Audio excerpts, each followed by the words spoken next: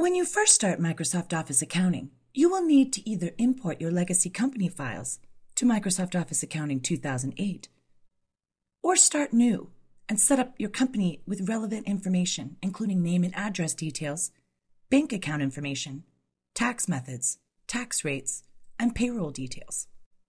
If you were using a previous version of Microsoft Office Accounting, you can choose to open an existing company, choose your company by double clicking, and you will then be prompted with the upgrade wizard. If you're starting a new company, you can select this option from the Start menu. Or choose File and New Company if you've already closed the Start menu. You can then include company details, the type of business in your company file information. We'll start with the company name, and if your legal name is different than the company name, you can input this. But if you use the Tab key, Microsoft Office Accounting 2008 will automatically populate the legal name as the company name.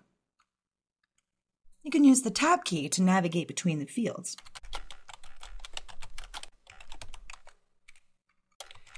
Enter your street address as well as a relevant suite number.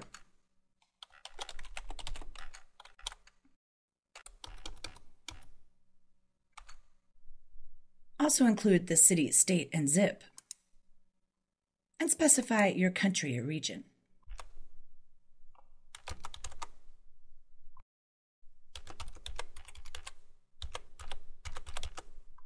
You can also include an email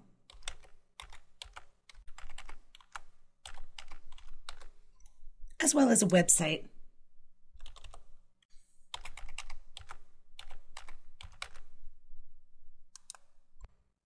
And your federal tax ID number.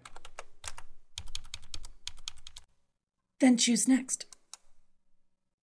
You can then choose your type of business. Microsoft Office Accounting 2008 offers a variety of descriptions for your business. By choosing one, accounting will automatically set up many of the details for your chart of accounts based on the type of business that you run. We'll choose IT services for our business type and choose Next. You will then create your company file information. Microsoft Office Accounting 2008 will prompt you with a location in your Small Business Accounting folder, or you can select Browse to change this. We'll then select Finish. With the setup complete, you will then be taken to the dashboard for Microsoft Office Accounting 2008, starting with the Resource Center.